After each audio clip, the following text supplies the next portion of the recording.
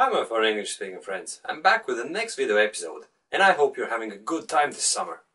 I've been away for a while for making new videos, you know, I just wanted to take it easy and relax a bit before jumping back into my home studio and start making new videos.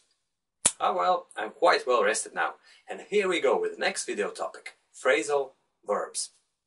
This is a very important aspect of English language and especially spoken English. To put it simply, everyday English has plenty of phrasal verbs in it. And if you want to become a fluent English speaker, you just have to learn a number of them. A phrasal verb is a verb that consists of the main part, main verb, and the second part, particle. Here's an example. Give up. To give is the main verb, and up is the particle. But together these two words create a completely new meaning, to surrender. Most of the times, phrasal verbs are less formal and easier to remember than their formal synonyms. I just made it up means that whatever I told you about wasn't real. I had just invented it.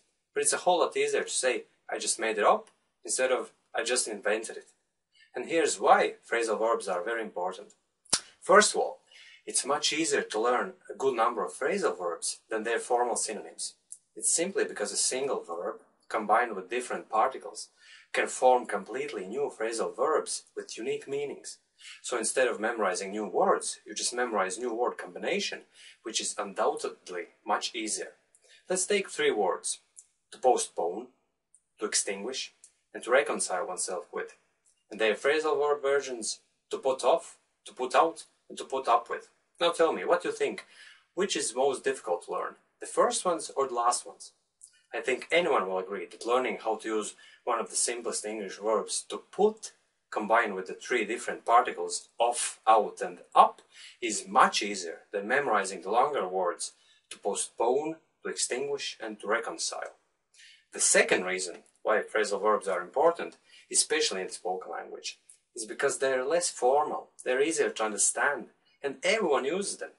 But don't take me wrong, of course, it won't harm you to know the formal synonyms of those phrasal verbs. But why try to sound very smart and use them when chatting with friends and work colleagues? Just listen to some native English speakers chatting with each other, and you'll realize most of action words that they use in their conversations are actually phrasal verbs.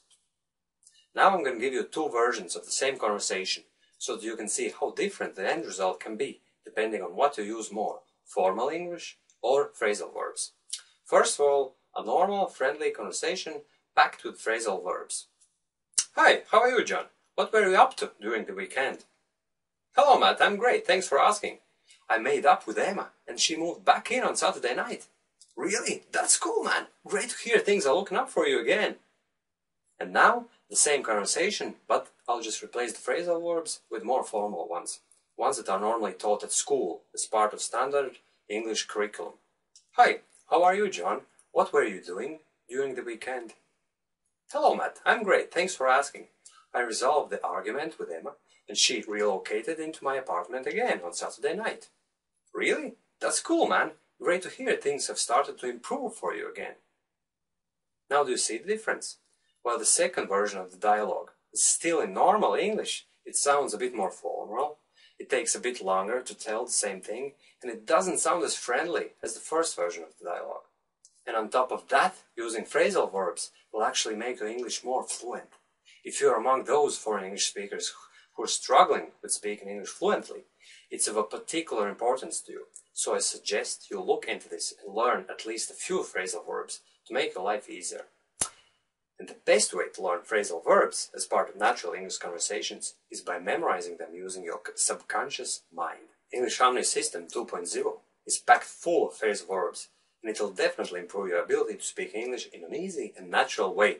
So if you're interested, check out the English Harmony system at englishharmony.com and see you soon again!